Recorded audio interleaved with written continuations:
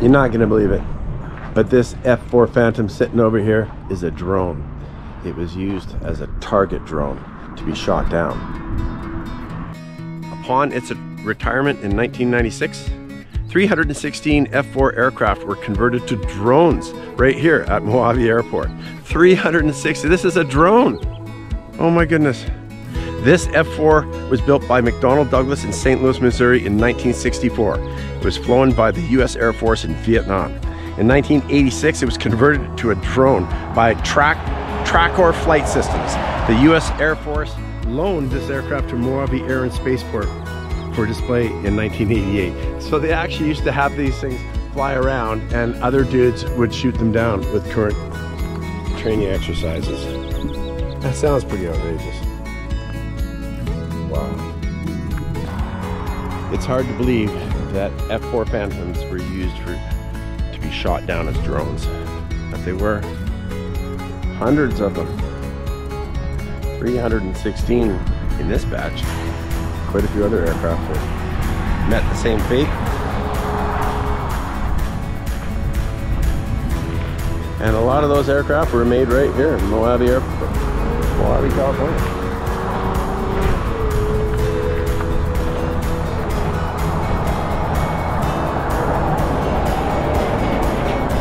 And by the way, if you come here, you're not supposed to climb on the airplanes.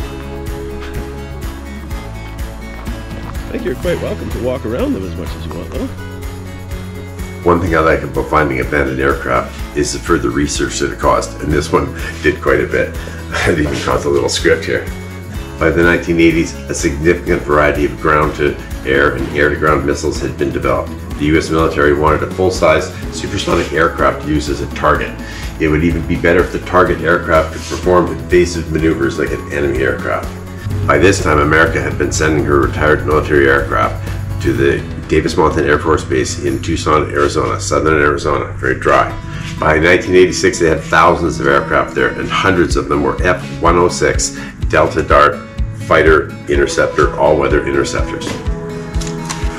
194 were selected to become drones. They were first restored to flying condition by the 309th Aerospace Maintenance and Regeneration Group. They were then flown to Mojave Airport where they were modified into remote flyable aircraft or drones. The aircraft were capable of taking off and landing by radio controlled. They could also still be flown by a pilot, and in fact, every time one flew, there was always at least two other aircraft with it, and these were all drone aircraft being flown by other pilots. When they landed, they had one behind it, and that's how they brought it in. They didn't have cameras on it, they just visually did it from directly behind, and then eventually they auto landed, full auto land, and today they auto land perfectly. When the aircraft were finished, they were flown to Eglin Air Force Base in Florida and assigned to the 82nd Tactical Aerial Target Squadron. These aircraft, these Phantoms, they cost $800,000 each to convert into drones.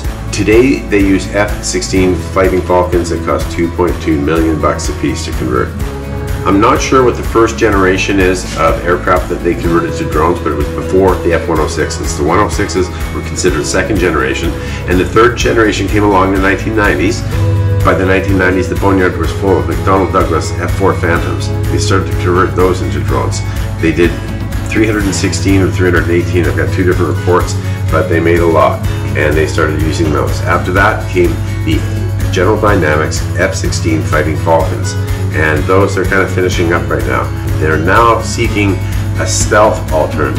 They're looking for a stealth fighter to, to shoot down, and I wonder if the Lockheed F-117 Nighthawks are going to become the next aerial drones. They've also done quite a few other different types of aircraft over the years for all different types of tests to destruction and others. They make remote aircraft that can land, no problem. I really like it when an abandoned aircraft makes me do a whole bunch more research in it. It just it's just fun being on the road. Hey, and you'd help me a lot with uh, subscriptions. Uh, they're free. Please hit subscribe. Thanks a lot.